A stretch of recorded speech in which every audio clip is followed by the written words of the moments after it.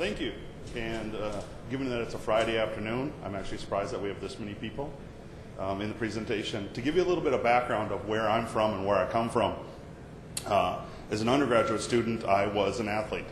And I was not genetically gifted, so I looked for anything I could to give me better training, better nutritional support, et cetera, et cetera. Uh, when I realized my dream of playing professional sports was not going to happen, I had to get another career. Um, I decided I wanted to study ways to improve nutrition uh, for athletic performance, improve uh, training mechanisms for athletic performance, and that's sort of what I've set off in my career.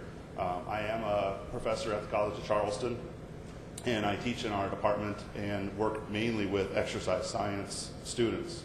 Uh, however, most of my research is geared towards supporting athletic performance.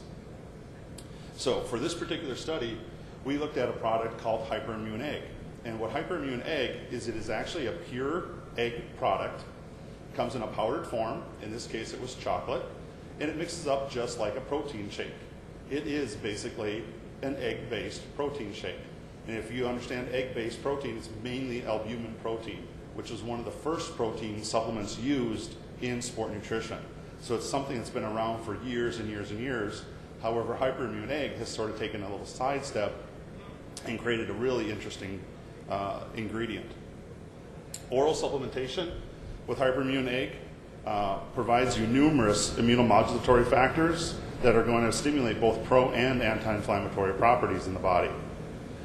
The theory that we based on was that we know if we can stimulate the immune system, there's interactions with the endocrine system, and the endocrine system is going to support muscle repair and growth following exercise. So the idea was can we modulate growth and exercise through activating the immune system? How can we measure this? What we can do is we can do different exercise performance tests. We can actually suppress the body's responses, look at growth and recovery, and then the second time we do the tests, if we're seeing an increase in growth and recovery, we'll see either an equal response or less of a subdued response. So, one of the specific aims that we had for this project was to look to see if supplementation for simply for 10 days had any kind of an effect on performance measures, including aerobic fitness, anaerobic power, muscular strength, or muscular endurance. Our second aim was to see if that we could actually alter recovery from prior exercise. And if you talk about athletes, this is what they do in practice every day. They practice Monday, they have to recover for Tuesday. They have to recover for Wednesday, Thursday, Friday. They play in college on Saturday, might get Sunday off, and they're back on Monday going through another series of a week. So it's all about recovery now, and that's where the most of our training response research is going is into recovery from exercise to support the next day. Our last aim that we really wanted to get at was what's the mechanism? If we see a result, what's going to explain these results?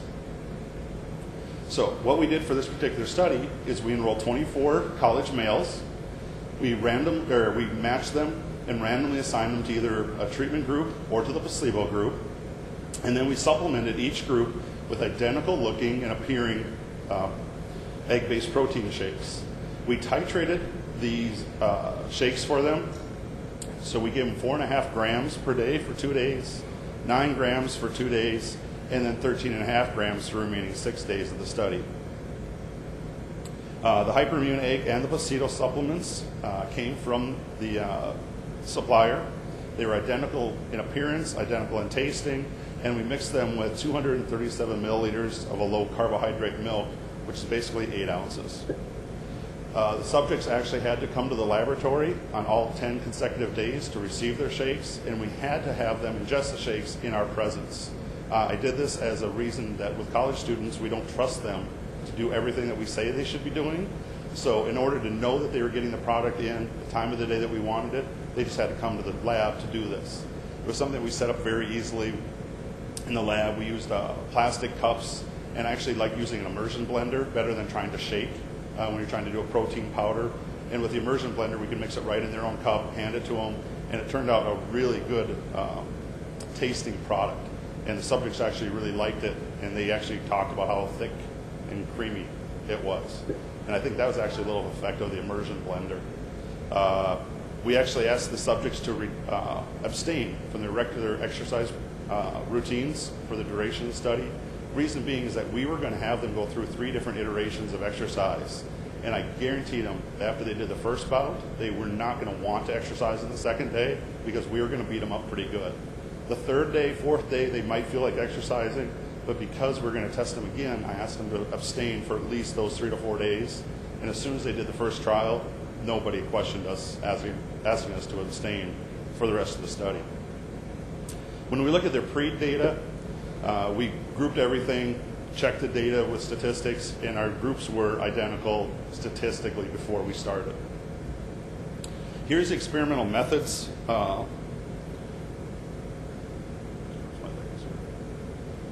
if we look at the experimental method uh, design here, what you're looking at on day one, day eight, and day 10, those are the days that we actually brought the subjects into the lab and had them go through our exercise bout. The days 9 and 11 were the days they came back to the lab, and then we did recovery measures that I'll show you. And then with the blue lines, those are the days they came into the lab and they actually got their shapes. So we saw these guys, like I said, 10, technically 11 consecutive days, and then they were completed with the study. So the things that we use to measure performance. Since we wanted to sort of get an overall battery, sort of a look at this, we decided to put this together in a comprehensive battery that took three hours to complete for one subject. And they're not three hours of continuous exercise, but they do one test, rest, recover, do the second test, rest, recover, and then continue. The first test we had them do was basically what we call a running economy test. We had them run on the treadmill for five minutes at six miles an hour, 0% incline. And we're looking at oxygen consumption and we're looking at heart rate responses.